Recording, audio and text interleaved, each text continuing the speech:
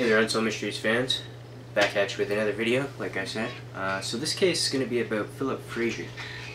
So I got the details of the case right here.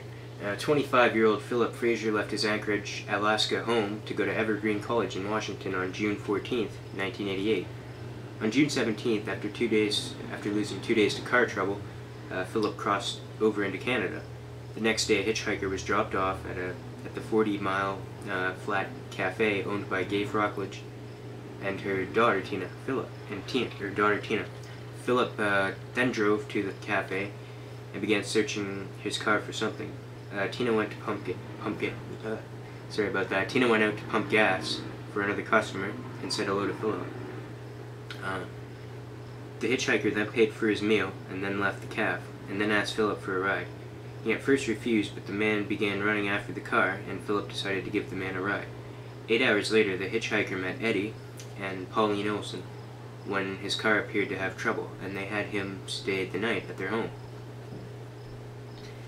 The next morning, the man told the Olsons that he was Phillip Fraser, and that he would he wanted to sell his car for plane for a plane ticket, but Eddie refused. Uh, the, the man then drove away and was never seen again. A few hours later, he left the Olsons uh, Phillip's burned out car was found at a car wash 300 miles from the Olson home.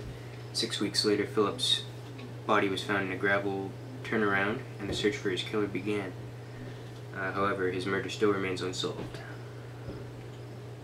So the result is still unsolved, and since this case aired, Phillip's father died in 2014. So yeah, uh, you know, unfortunately, the father passed away before um, this guy was found.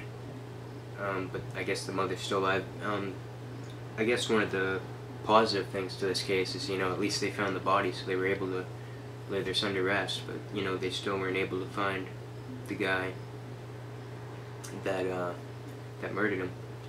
Um,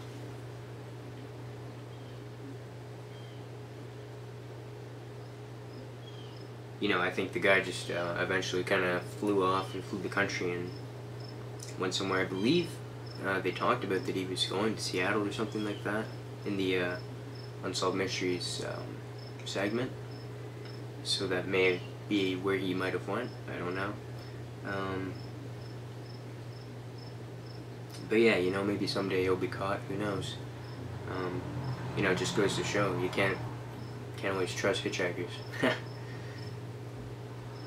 you know, because then stuff like this could happen. So, uh, you know, you drivers out there, just watch who you pick up. And, uh, you know, that's pretty much all I got to say for this video. Um, if you like this video, subscribe, comment, um, give me your thoughts on this case, um, your theories. Um, as usual, my Twitter, my Twitter link and my um, PlayStation 4 gamertag will be in the description, so look out for that. I'm gonna have another video coming up right after this one, not an Unsolved Mysteries video, but uh, well, I'll get into it when I do it. And um, yeah, so that's pretty much all I gotta say, and uh, we're right up.